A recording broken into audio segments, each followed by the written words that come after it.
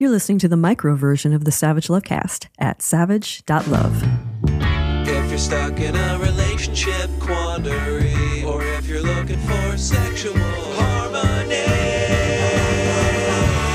well, there's nothing you can't ask on the Savage Lovecast. The people Donald Trump endorsed in 2022, the freaks and geeks and ass licking insurrectionists he endorsed, wound up costing Republicans control of that chamber of Congress. Donald Trump prevented Mitch McConnell from retiring as Senate Majority Leader. I sent a sympathy card to Mitch, who could have voted to convict Trump during his second impeachment trial and spared us the bloodbath Trump is threatening if he doesn't win and or can't steal the 2024 election. But my sympathy card, like Mitch McConnell's spine, and Mitch McConnell's soul seems to have gotten lost in the mail. Anyway, Trump is doing it again. He's out there endorsing freaks and geeks and ass looking insurrectionists. And one of his endorsees, one of the very fine people, one of the best people, one of the people ready, willing, and able to spend the next four years on their knees eating the corn out of Donald Trump's shit, got embroiled in a sex scandal this week. You know how I love me my sex scandals. I want to talk about this one, but I don't want to oversell it because as sex scandals go, it's pretty thin. There's a there there, but not much there there. No pics, no videos, no Russian hookers, no golden showers, no lifted luggage. All we've got is a hunger, an alleged hunger, for cock. Businessman Bernie Moreno is one of the Republicans running for the GOP nomination for Senate in Ohio. It's the most competitive GOP Senate primary in the country. Sherrod Brown is the Democratic incumbent in the race, and Ohio has gone very red and very MAGA since it first sent Brown to the Senate. Let's just say it Ohio has lost its fucking mind, and whoever wins the GOP primary in Ohio has a good chance of taking Brown out, which could wind up handing control of the Senate to the GOP, which would not be ideal. Moreno, interestingly, is an immigrant originally from Colombia, came here when he was 18 years old. And for a long time, when he was a businessman in Ohio, he was a vocal supporter of LGBT rights. And then he got into politics, at which point the advocate says he began walking back his previous support for anti discrimination laws protecting queer people and gay marriage and queer representation on TV. I wish I could report that this guy, this immigrant, who is supporting the man who this week described immigrants as animals and not people at a rally, got caught with a dick in his mouth or a rent boy in his cabana or his caboose. And we know Moreno heard what Trump said about immigrants because Trump said it at a rally in Ohio for Bernie Moreno, who he had just endorsed. He said this shit about immigrants in front of Moreno, an immigrant. Anyway, the AP reported this week that in 2008, Moreno, straight, married, conservative Christian, MAGA Moreno, or someone with access to his verified email account, placed an ad on Adult Friend Finder seeking dick. Hi, looking for young guys to have fun with while traveling, the ad began. Eh, I don't know. Seems a little groomery to me. Rumors about Moreno's personal ads seeking young dick were circulating in Ohio. They were being circulated by his rivals in the race, other Republicans. And his campaign this week, when the AP finally reported on the story, confirmed the existence of the ad and that it had indeed been created using his private email account but claimed it was a prank by a junior staffer. Who amongst us has not given a junior staffer access to our private email accounts? Anyway, the campaign also declined to make this junior staffer available to the press. And no one, and I mean no one, is buying this. But you know what I buy? And I've long bought and I've encouraged other people to buy? I think a straight dude can be curious about gay sex and maybe experiment with it, suck a dick or two, hopefully an age appropriate dick or two, and still be straight. Basically, I've always wanted to live in a world where straight guys had the same latitude straight women do. If you're a woman, you can have a few same sex experiences, a little lesbian sex, even a lesbian relationship, and still identify as straight when you grow up or heteroflexible, and everyone believes you. I want to live in a world where straight guys have the same latitude gay guys do. I had sex with women not so much an experiment for me, more like sex with women under duress, the closet. But no one tells me when I admit to having had sex with women that I can't be gay because I slept with a few girls many, many years ago. I think straight guys, I've always felt that straight guys would be better straight guys, less crazy, less paranoid, less violently homophobic if they were as free to experiment, suck a dick once or twice, or get their dick sucked once or twice by a man and still be believed when they said they were straight, just like we believe all those straight women who've had some fun with other women once or twice and still identify as straight, because they are straight. But if you're a politician who has moved to the right on queer issues over the years, cravenly, to appeal to the GOP base and earn the endorsement of an authoritarian wannabe dictator who is threatening mass deportations of people like you, immigrants like you, because you're that hungry for power, you don't get to live in the world I want to live in. If you had a dick in your mouth even once, if you had an ad up on Grindr or Adult Friend Finder or Sniffies or Recon or Scruff looking for dick to put in your mouth, and someone finds it, yeah, you have to live in your world. And in your world, in your party, sucking a dick even once, or just admitting to wanting to suck a dick even once, means you ain't straight. It also means you may not get the GOP nomination no matter how hard you suck Donald Trump's dick. All right, coming up on today's show on the Micro Savage Lovecast, tons of your Qs, lots of my A's, and on the Magnum, but also the Micro. Rob Wilde, the UK's number one bulge boy, adult entertainer, MC, and himbo geek, joins me to kick off a new segment we're calling What Are You Doing? We wanted to share our interview with Rob, who's as charming and delightful as his bulge is enormous, with all of our listeners. Also, a way of tempting you micro listeners to become Magnum subs. Something else that might tempt you to become a Magnum sub this week. We have another Savage Love live this Thursday, March 21st, noon Pacific. I will be answering questions on Zoom. Get them to me early by going to savage.love slash ask Dan. We will send the link out to that Zoom chat on the morning of the show to all of our Magnum subs. And if you want to get that link, become a Magnum sub now at savage.love. All right, let's get to this week's show. This episode of the Lovecast is brought to you by the good folks at Squarespace. They make it easy to build a beautiful website, blog, or online store. Head on over to squarespace.com/savage for a free trial, and when you're ready to launch, use the offer code SAVAGE to save 10% off your first purchase of a website or domain. This episode is brought to you by Helix Sleep, the best mattress for your individualized comfort. Right now, my listeners get up to $200 off all mattress orders at helixsleep.com slash savage. This episode is brought to you by the Meridian Trimmer, the very best tool for trimming your body hair. Go to meridiangrooming.com and use the code SAVAGE for an exclusive 15% off. Hi, Dan. I am a 38 year old cis woman, late to lesbian, with my girlfriend for a year and a half. We have a wonderful relationship. She's the first woman that I've ever been with. I have a question about our sex life, which is amazing. We both say it's amazing, we both say it's the best we've ever had. But my question is that when she goes down on me or she touches me, I come really fast. She turns me on so much. We always have a lot of foreplay, a lot of kissing, a lot of build up, and that's all great. But when I go down on her or I'm touching her, it takes her a really long time, which is fine. It's completely fine that I understand that it takes some women a really long time to come from oral. That's not a problem, although sometimes I do actually feel a little bit insecure that maybe my technique just isn't as good as hers. But it's mostly that it's starting to cause her a little bit of anxiety and a little bit of sort of that like lying there, sort of going, Am I going to come? Am I going to come? Even though I've told her it doesn't matter and I'm just happy to be down there and there's no goal for her to have an orgasm. But of course, there kind of always is that goal, isn't there? Even if you say there isn't the goal to have an orgasm, it's what everyone's hoping for. She must have different anatomy to me because she can use a vibrator for like 10 minutes and not come, and I would be finished in a minute. But she does come really fast when she's taking more of an active role rather than a passive role.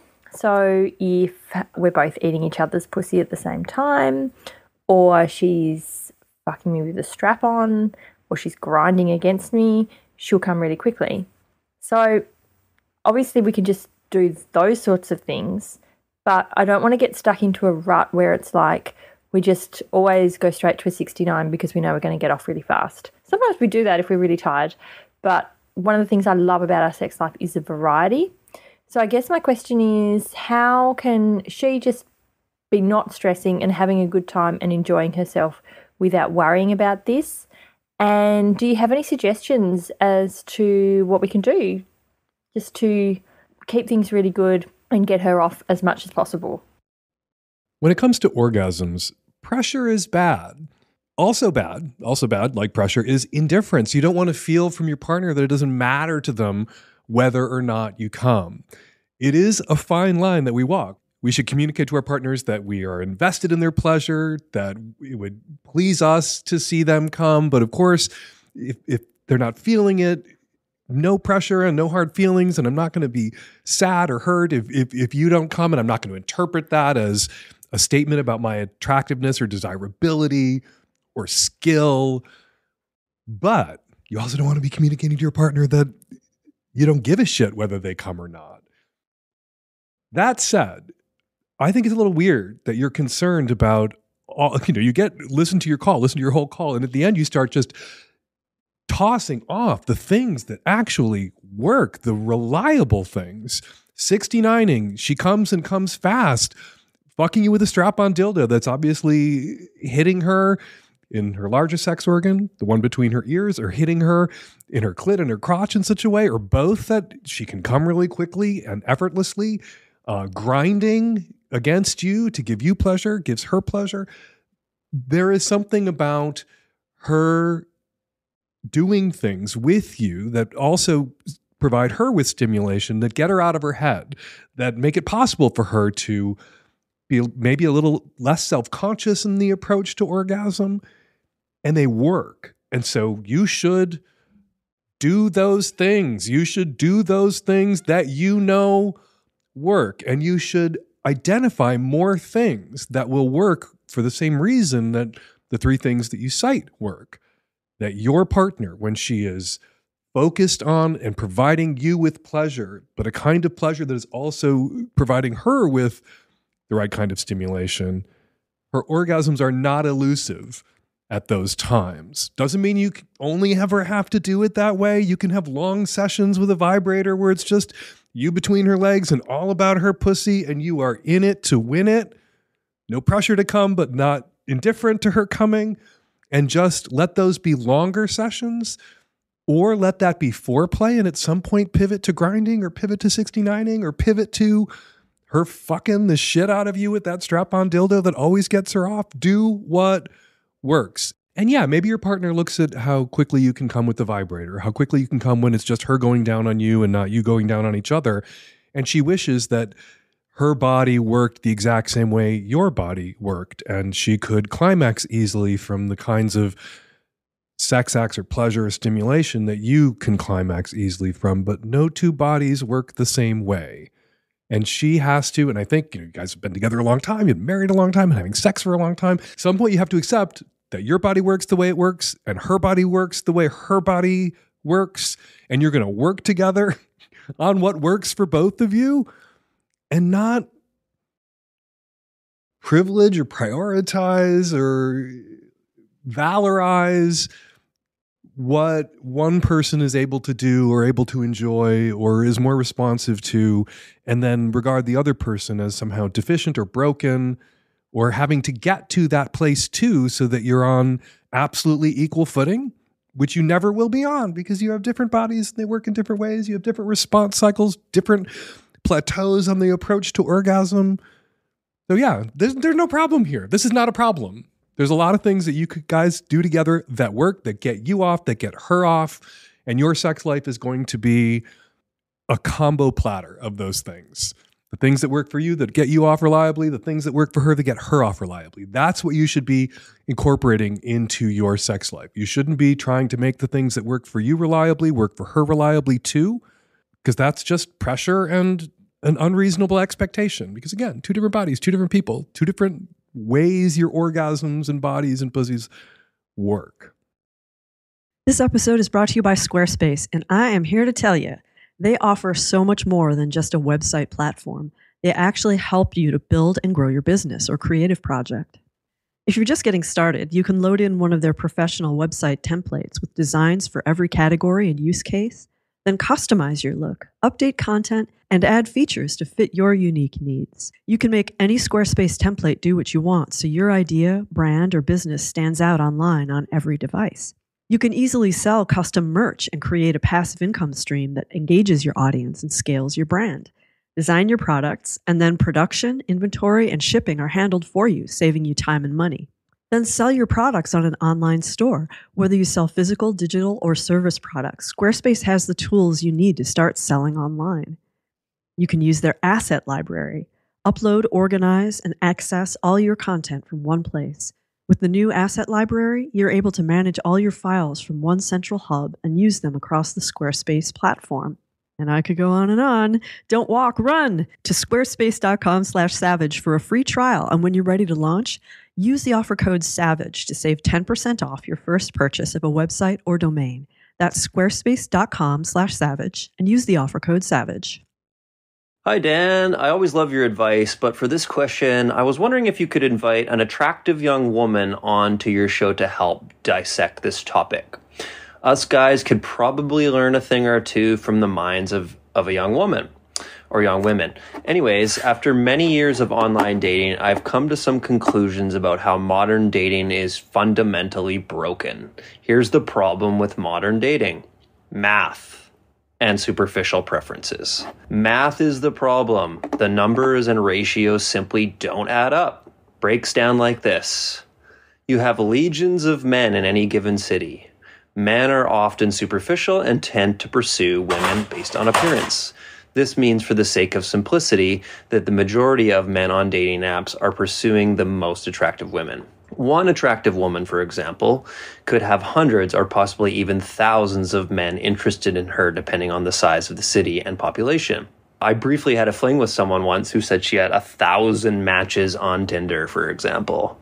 And you also see the number of followers a woman has on apps like Instagram and FetLife. You can imagine how many messages and comments they must receive. The amount of followers a single woman can have is, is staggering right away, you have eliminated the possibility for hundreds or thousands of men to meet these attractive women because it's just simply an overwhelming ratio mismatch. There's no possible way a woman could have the time or interest in this large volume of men. Now, let's say she matches with 100 men on a dating app. She may message or genuinely engage or show interest in perhaps 20 of these guys. Let's say these 20 guys are great men, attractive and intelligent men she will soon likely and reasonably become overwhelmed trying to keep up with 20 app or text conversations. She will then be forced in these circumstances to whittle it down to perhaps two or three men. You can see where this is going. In the end, she'll date one of them. That's what most people want, right? Just one person to focus on. So that leaves, let's say, 19 out of 20 great guys initially from a pool of 100 or more. So these like 19 or 20 good men that she had to reject out of sheer volume. So that leaves 19 theoretically good men who are lonely and single. And then the exhausting pursuit for the next one begins and the cycle starts all over again. So I don't know, Dan. What do we do about this? It's not a woman's fault that a society functions this way. Of course not uh, you know, don't hate the player, hate the game, as they say. Is this just evolutionary biology now fused with modern technology? Do we not need to get real about modern dating and come to grips with this current status quo? The odds are not in your favor.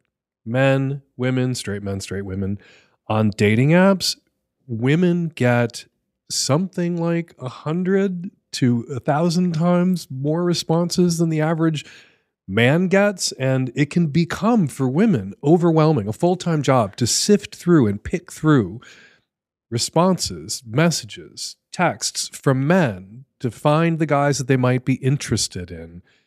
Yeah, that is a needle in a haystack thing. And for men, that can be really frustrating. How do you stand out?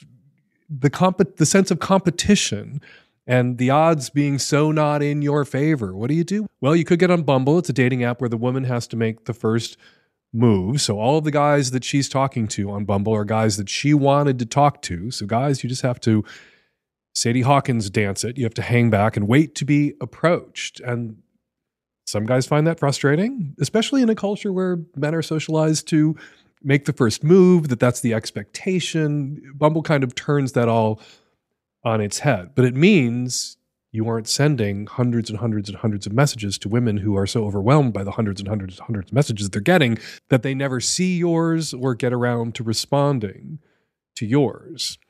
Other people have made this observation, all the observations going through the depressing math that you've gone through. What can you do about it?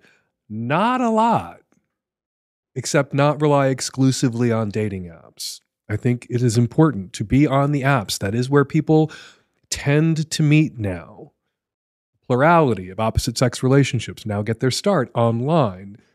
The overwhelming majority of same sex relationships get their start online. We are approaching the singularity where most relationships, opposite sex or same sex, will have started online, on hookup apps, on these little singles bars we carry around in our pockets.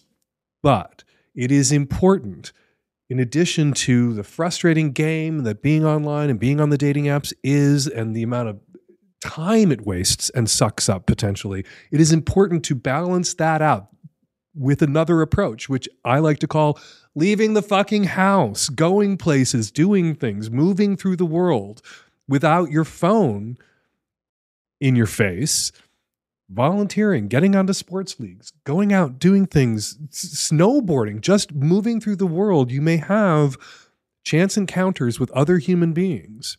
Some of these human beings might be human beings you want to fuck.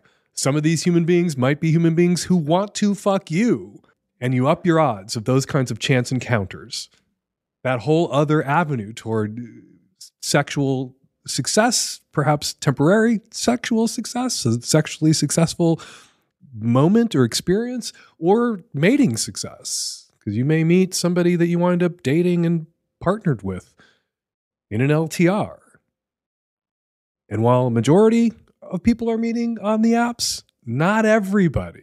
So you got to move on both fronts. You got to be online, have your best game, current and accurate pictures, have your friends look at your pictures and tell you whether they think that they capture you and are accurate and representative, and also leave the fucking house.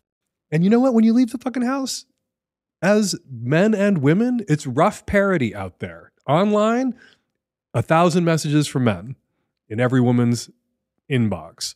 In the world, at the book club, at the bar, on the slopes, wherever it is that you're moving through the world, enjoying your life and encountering other people who are moving through the world, enjoying their lives, it's going to be parity, roughly 50 50, male, female and the odds will be a little bit more in your favor. We talk a lot here about spicing up our sex lives, trying new things like trying it in the car or trying it in public. But sometimes a comfortable and familiar place is the best place to try it, the best place to do it, a place where you can fall asleep right afterwards. For me, that place is on top of my Helix mattress. We have one in our main bedroom, one in our other main bedroom, and one in our guest room for our very special guest stars. The Helix lineup offers 20 unique mattresses, including the award winning Luxe Collection. That's ours, that's the mattress we have. The newly released Helix Elite Collection, a mattress designed for big and tall sleepers, and even mattresses made just for kids. To figure out which mattress is right for you, take the Helix Sleep Quiz to find your perfect mattress in under two minutes. And then your personalized mattress will be shipped straight to your door free of charge. But you will get with your mattress a 100 night sleep trial. You can try out your new mattress, see how your body adjusts. And if you decide it's not the best fit, you are welcome to return it for a full refund. Helix offers models with memory foam layers to provide optimal pressure relief if you sleep on your side, like me, or models with more responsive foam to cradle your body for essential support in stomach and back sleeping positions. Plus, enhanced cooling features to keep you from overheating at night. Helix mattresses all come with a 10 or 15 year warranty depending on the model. Helix has been awarded the number one mattress pick by GQ and Wired magazines. It's even recommended by multiple leading chiropractors and doctors of sleep medicine as a go to fix for improving your sleep. And right now, for my listeners, Helix is offering 20% off all mattress orders and two free pillows. Go to helixsleep.com slash savage to get 20% off and those two free pillows. With Helix, better sleep starts now. Hey, everybody, we're rolling out a new segment on this week's show, a segment we're calling What Are You Doing? There are a lot of sexy people out there doing a lot of sexy things, but not all of them have questions for me, and so they don't call into the show. So I'm calling them instead because I want to ask, What are you doing? Joining us for our first What Are You Doing? Rob Wilde. Rob, welcome to the show. Hello, how are you doing? Great. So before we get to What Are You Doing, Rob, who are you? My name is Rob Wilde. I am an adult entertainer, sex worker, and MC uh, from the United Kingdom. Born and bred in London, but currently living in Manchester. All right, Rob, what are you doing?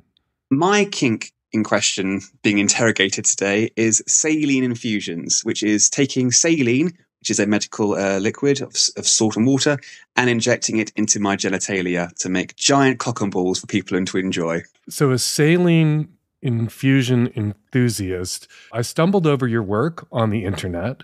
I saw what you were doing with your balls. It's very impressive. We had a case here in Seattle where someone was injecting silicone into their genitals and died. Saline yeah i know. not to be confused with silicone. What you're doing the saline infusion that blows your testicles up to the size of a basketball not dangerous. Not dangerous. No dangerous in any other um, like medical medical procedure both done by a professional or um, done by yourself saline is not permanent after the initial growth it is absorbed into the body it's saline is essentially just salt water it's great for hangovers as well, I find, because it keeps you hydrated throughout the night. But why are you doing this? What's the turn on? Or you say that to people like, that doesn't turn me on. Why does that turn you on? I think that's the dumbest question in the sex space of all because turn ons are yeah. subjective and personal. But can you describe what it is about this process and this body modification, temporary, that turns you on? I think uh, I always think to those Tom of Finland um, pictures of these kind of hypermasculine bodies and the inhumanly uh, large genitalia that ironically are sometimes too big to even use depends how much you do inflate by i mean sometimes i infuse to a i would say a realistic beyond what you'd say is uh, a average sized uh, jet ball sack, but still pretty big. And then other times I just want to go massive to the point where it no longer becomes even usable. And I think I feel I love that paradoxical nature. I love that it's the height of masculinity. It's the biggest cock and balls you've ever seen. But it's almost like chastity because you can't use it. It's almost demasculizing at the same time. So it is a different way to lock up a dick you're essentially locked up a cock without a cage. Yeah. Yeah, I mean, uh, I'm sure anyone who goes across my um, Twitter will see me wearing a nice like latex cow outfit, tasteful, tasteful cow print, stunning, because it almost looks like like udders in a oh way. Uh, I was going to say that, and I was worried it might offend you. There are images that you've shared very generously with the world of you and some of your play partners on all fours with your balls swollen to enormous proportions with the saline infusion, and it looks like udders. Mm-hmm. You look like cows. That's utterly ridiculous. I will not stand for this kind of offensive. I think my philosophy with like any kink is like if at the end of the day it is ridiculous. Like if you can't if you can't laugh at it, it's hot. Don't get me wrong. For, for me personally, and for a lot of people, it's hot. It's I feel it's one of those kinks where you can enjoy it as an admirer just as much as you can as a person who does it yourself. I've had plenty of people who want to play with me in when I'm in that state and often a bit curious about trying it themselves. But when I explain to them the process, they kind of maybe lose interest due to the uh, needle in the ball sack element to it. I, I was going to say, explain the process, please. When people ask, is it painful? I say it's as painful as stabbing yourself in the balls with a needle, which is not that it's not directly into the balls, it's into the skin. It's really about confidence. I imagine it's like if you waver and are nervous about doing it, it's going to hurt a lot more. But if you just go pop it in and then let the saline uh, flow in with an E- IV drip. It's quite simple, and uh, if you do it right and follow, you know, basic hygienic standards, there's no risks at all. So, do you remember your first time? I do. I'm up with a guy down in down south of the UK who had moved on, who'd moved on the silicone quite a lot. He used to do saline. He had all this stuff. I was interested in meeting him, and he showed me how to do it. And he was quite adamant of, "I won't touch you. I'm going to tell you what to do, but I will let you do everything yourself, both to protect myself in case you know something God forbid goes wrong." and B, so that in future you can do it by yourself, which I was very um, grateful for. And uh, yeah, he was my mentor. Do you remember the first time you saw this? Were you like, oh, it clicked with you? You were like, what is this person doing? How did they get their balls so big? How do I get my balls so big? And the saline infusion part was the means to that end of the large exaggerated genitalia. Or wh- when you saw it, were you just like, like what was that first exposure? How did this kink take root? I don't know. I, I, I, imagine I must have seen silicone first. I, I, I feel like they, those kind of pictures, um, I would have seen them first and like being like, oh, that looks very nice.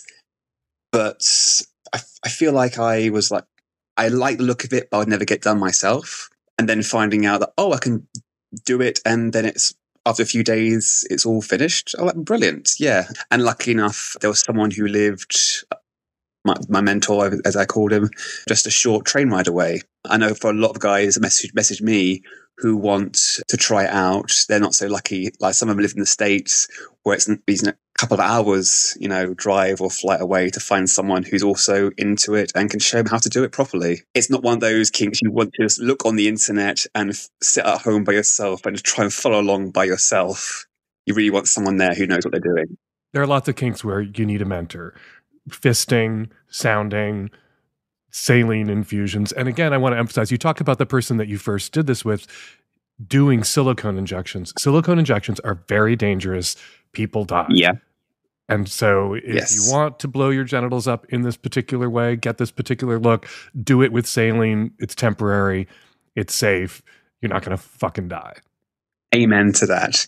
So I'm curious, and I'm sure some of my listeners are curious right now about the particular sensation. You put you Mm. infuse saline into the ball sack.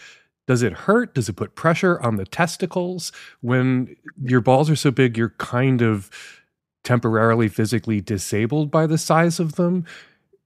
Is it painful? Is that part of it? Is it one of those kinks where a little bit of discomfort is a part of the turn on? Or is it not this is not uncomfortable at all? Your balls just like floating. Your sack's an aquarium for a moment and it doesn't really hurt. Or does it hurt?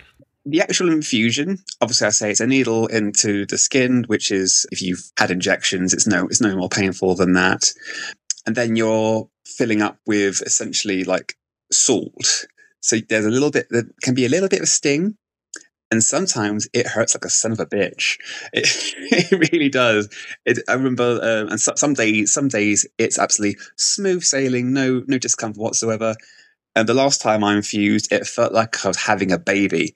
I was there holding my friend's hand, we're infusing at the same time. And I'm, he's like going, push through it, push through it. I'm like, you did Oh my this God. to me. Oh, I can see the head. Why did it hurt? Did, is the salt burning your balls? Like, or was it just the pressure? What was it about that time that made it hurt as opposed to some other times when it didn't hurt? Sometimes it can be the temperature of the saline. So you want to, before you infuse, you want to uh, warm it up to its like body temperature. A that helps with uh, keeping the the skin of the uh, the balls kind of like loose and nice and stretchy, and because obviously your body's going to react negatively to cold coming into that nice warm environment. So uh, I, I don't I don't think I'd sufficiently warmed up the saline to a degree that was. Uh, but I pushed through, and um, the sensation once it's all um, like everything's removed and sealed up, it is lovely. Anyone who's familiar with ball stretching or ball weights will um, attest that it's a nice, like it's something very nice about the pull, I guess you'd call it. The tug. Your cremaster muckles working overtime to hold your balls up that are suddenly much, much heavier. It really is a a, a nice feeling experience, and I suppose like, as much as a physical kink as, as a mental one, because you're walking around, you like, go down to the you go down to the shops, depending on how big your bulge is, and just like walking along, knocking stuff off the uh, off the shelves. How long does it take if you've blown your balls up to a large extent? How long does it take for them to revert to their normal state? I always say it's got like a half life of a day, so you goes down by half the size over a day. Also depends on a lot of things. If you, depending on how hydrated you are, if you keep yourself nice and hydrated, it lasts longer. If you wear a cock ring on the balls, that'll keep it all in. It takes, I'd say, about two days for it to go, or everything to go back to normal. And frankly, good riddance, because after a while, once once the uh, the high of it's gone over, you're, you're laying in bed and then you roll over like, oh, giant basketball between my legs, or in the way. I have to admit that I'm a little curious about what that might feel Mhm. like. So, if you know somebody within a couple of hours of Seattle who's good at it, maybe I would, as a philosopher, give this a try. I don't think it's my kink. I don't think it would become my kink, but I am morbidly curious about what that would feel like. If anyone wants to try it and do it themselves, I would say is A, do not do it by yourself. At least try and find someone who's with a little bit of experience. And B, if the idea of putting a needle into yourself is too much, this is not the kink for you, unfortunately. Where can people who want to see what you've been doing find you on the internet? I'm glad you asked. You can find me on what do we call it now? Tw- Twitter. I'm allowed to call it Twitter. still. I'm not- I'm not calling it X. We never call it X. Twitter or the bad place. Oh yeah. So you can find me in the bad place. It's Rob Wilde on OnlyFans. You can also find me on Instagram at Amyl Nitrate, which is my drag persona. But uh, let's. I'm not going to put that. Maybe my drag name should be Celine Dion. oh my god, that's genius! That's genius. Have a big old bulge of an iceberg tattooed on the front of the uh, speedo. That'd be great. I, I missed a trick there. So sorry. Rob Wilde, you can find him online. You can find his balls in various states of enormity, also online. Thank you so much for jumping on with me today and uh, keep doing what you're doing. Sounds like fun. I will. Thank you very much for having me. This episode is brought to you by the Meridian Trimmer, my new favorite tool for shaving down there. Meridian offers powerful trimmers that cut through even the coarsest hair, but their trimmers are gentle enough for your privates. You'll enjoy a comfortable shave below the belt with no nicks, cuts, or ingrowns. Meridian trimmers are for men, they're for women, they're for non binary folks, and they're for any style, whether you prefer completely bare, neatly trimmed scruff, or a well rounded bush. This high quality waterproof trimmer is fitted with a 6,000 RPM motor, safe ceramic blades, and an anti nick shaving guard. And Meridian has so many happy customers, over 1,000 five star reviews online. With the Meridian trimmer, you can get your body hair looking just how you like it and feel good and sexy with your fuzz. Get a Meridian trimmer today for the ultimate trimming experience without the pain, discomfort, or awkwardness. Order now and take control of your grooming routine on your own terms. Listeners of the Savage Lovecast get an extra 15% off your order using the coupon code SAVAGE. Go to M E R I D I A N grooming.com and use the code SAVAGE for an exclusive 15% off. You deserve a better and safer below the belt trimming experience, and with Meridian Trimmer, you can get one today. Hi, Dan. I'm a 34 year old queer, mostly cis woman from the Northeast, uh, and my partner is a queer transgender woman. But we're currently on a break, and I'm trying to decide if this is a partnership that I want to be long term moving forward. What's going on? First, we definitely have some differences spiritually as well as some parenting differences. She has a nine year old. I have a three and a five year old. Although we have a pretty great sex life, there's some stuff there as well. She has had bottom surgery and she didn't exactly get a long time to kind of take her new equipment out for a run. So she has a desire to be penetrated by someone with the correct anatomy to penetrate um, instead of just a toy. And obviously, um, I cannot do that. And I've always been pretty open to her exploring this um, elsewhere. But on top of that, I also, although I came out as bisexual as a teenager, have had uh, very little opportunity to date uh, women in my adult life besides her. So we both have some exploration to do, but we're having some fundamental problems in our relationship too. At the same time, I am deeply in love with her. I'm very attracted to her. We have a lot in common as well. And in some ways, I think we could parent well together as well. But at this point, I'm trying to figure out, do we break up?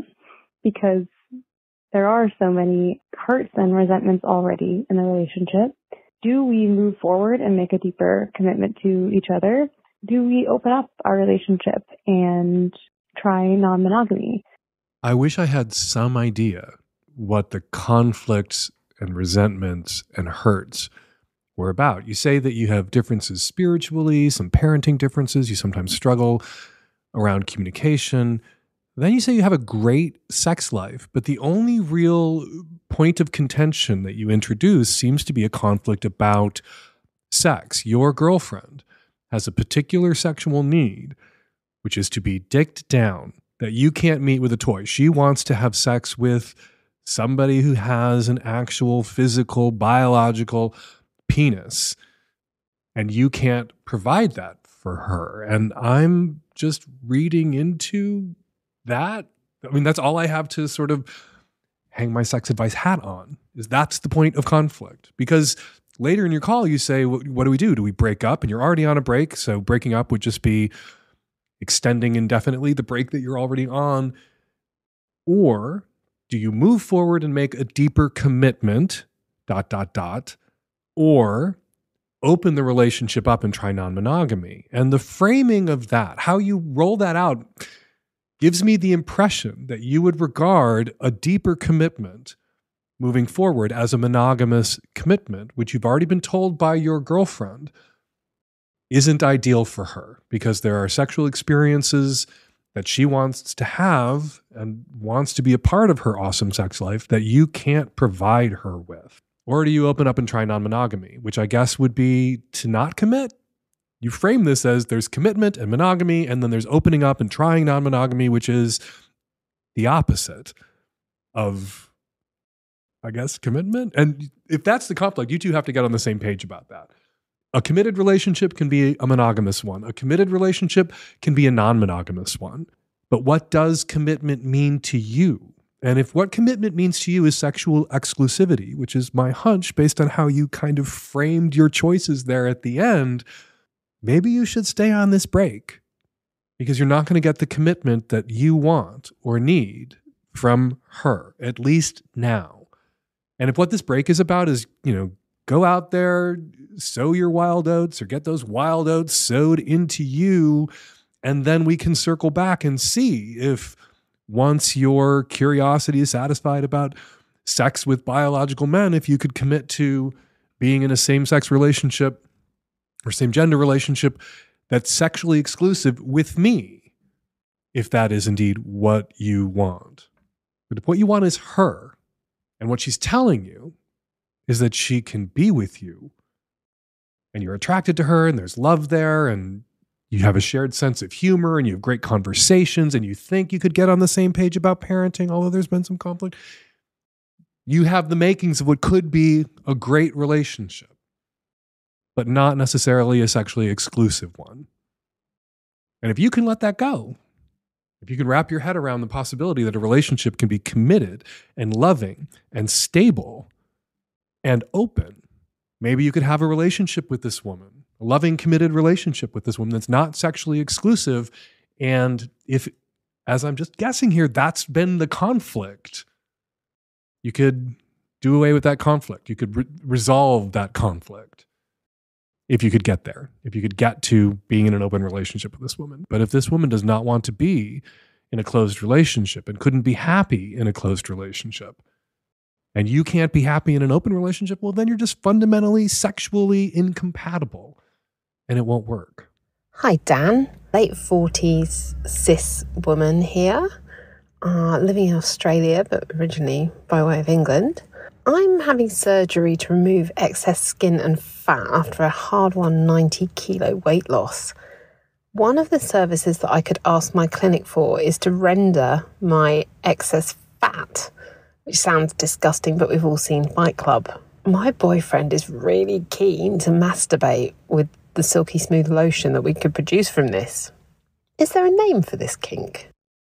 This is one of those questions that come in semi regularly and that I've answered a few times. And then I think, well, I don't need to answer this question again. I've answered this question. And then I realize it's been, I don't know, five, six years since I last answered this exact question. And in that time, some people have just come to the show, some people aren't familiar with this really common junior varsity kink called rendering. You're rendering your fat and using it as lube. There are rend fetishists out there, renderers, and that's what apparently the clinic that you are going to for this surgery is willing to help facilitate the expression of that particular kink. All right, do it, rend it. There's even a hookup app for people into this. Render, R E N D R. Check it out. All right, before we get to this week's listener response calls, I want to share a couple of listener comments about last week's show posted on the very lively comment threads at savage.love. Almost everyone thought I was too hard on the gay dad whose daughter called in about dad and mom meeting for the first time since dad came out and got a boyfriend at her wedding. Says David B. Dan, I am shocked by how angry you were at the gay dad in this episode. You've made too many assumptions on this man's mindset at the time he married. I came out as gay in my 40s. The world I lived in didn't allow me to explore that side of me until shortly before that. Please remember, Dan, we all live in different worlds. Says Ricard, shocked at Dan's angry reaction to gay dad. The sentiment is correct, but the personal venom out of line. It was easy for the precocious 15 year old Dan who figured all that out even before finishing puberty, but many of us failed to figure out our sexuality for a very long time. My answer for the caller would have been to the woman getting married don't let your wedding day be the first time your mom and dad have seen each other in years. They need to meet and work some of this out. Dad needs to make some of the apologies he owes mom. Mom needs to suck it up and process some of this in time for the wedding. Both parents need to prioritize their daughter and make her day problem free. And says David about the top of last week's show, very nuanced opening rant, Dan. I definitely believe I should be a good sibling to every other queer person, supporting, protecting, and caring for them, including especially how I vote, while recognizing not everyone is going to be a good queer sibling towards me. All right. I guess I wasn't a good gay sibling to that caller's dad. And after reading everyone's comments, more than 100 now, most of them about that one call and response, I was too harsh and I failed to make allowances for different people's different experiences. That said, two quick things I want to push back against. A lot of people in the comments were doing the math, figuring out it was the late 80s or early 90s when the caller's dad married the caller's mom. People often talk about the 90s like it was impossible to be out then. Things are better now because people came out and worked hard to make them better. Remember when Rosie O'Donnell and Ellen DeGeneres came out in the 90s and started to work hard to make it better? It wasn't impossible to be out then, though. If you knew yourself to be gay, which, again, the caller's father may or may not have realized prior to marrying the caller's mom. Also, some commenters suggested that it was somehow easy for me to come out as a teenager in Chicago and then didn't do the math. I was a teenager in Chicago. I was 15 years old in 1979 with a homophobic cop for a dad and a loving but very Catholic woman for a mom, and no role models, no one in my family who was gay, no gay friends, no gays on TV, no gays to talk to or get support from on the internet. And since we all come out in stages, I was still coming out after Reagan was elected in 1980 and the AIDS crisis hit in 82. Coming out back when I did as a teenager was a lot of things, but it was not easy. It was no breeze. All right, for more listener comments and more of my responses, check out Struggle Session, a weekly bonus column for Magnum Subs, goes up every Thursday at savage.love. It is where you will find my Muppet faced man of the week. And now, listener response calls. Hi, Dan. This is a response call to the woman at the top of the last episode who called in because her boyfriend is uncomfortable around periods. Um, Dan, I appreciate your being an ally. Uh, as a woman myself, it is so ridiculous that men can't think about or talk about periods without being weird and freaking out. Having said that, I think you may have been a skosh too eager in your allyship and missed how obnoxious this caller is being. Caller, you said you've been dating this guy for a couple of months and you're angry with him and considering dumping him because of how one of his admittedly ridiculous opinions could hypothetically impact your hypothetical children.